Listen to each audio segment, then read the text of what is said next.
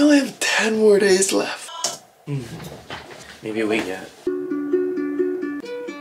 Someone's playing this ukulele in like an old tavern. I don't know why. This is crazy.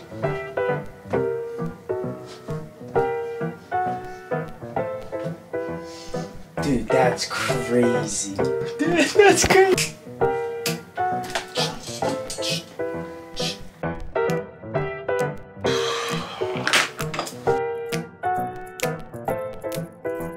Hard to find how to get the right clap sound. Alright, I think I'm just gonna slowly build these drums out. Just you do like if you were sitting at this place and you heard this music playing, like what would you start doing? Like Ooh, that little finger roll action.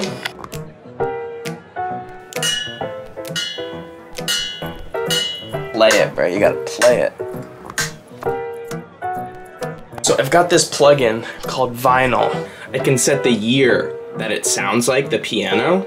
So I'm gonna make it slowly start going down. So it sounds like you're in the room with it, and then it's gonna start to sound like it's more of a recording that you're listening to. And then that's when I will do the drop switch, or the vibe switch. So I'm gonna challenge myself to finish by 12 o'clock today. It's 11.17. Let's get to work. I feel like I need a vocal somewhere. Like a, I'm a, I'm a chop up a vocal. It's so insane. Uh, oh, baby, uh. Progression is crazy. Oh my gosh.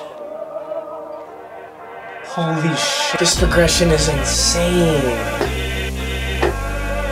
I have seven minutes, and I only have a piano and a bass right now for the end part. Fast. Outro piano, take one. Outro piano, take two.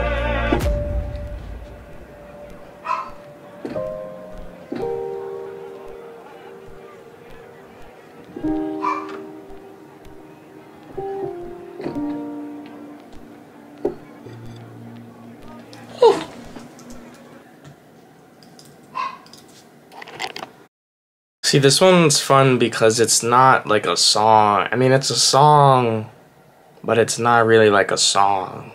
However, this is what I'm into. Like, this is this is creative to me. This is my type of.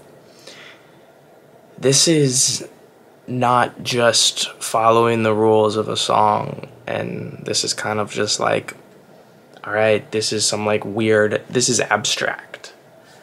Um, and uh, yeah, I kind of like it. I love it. I do. I like it a lot.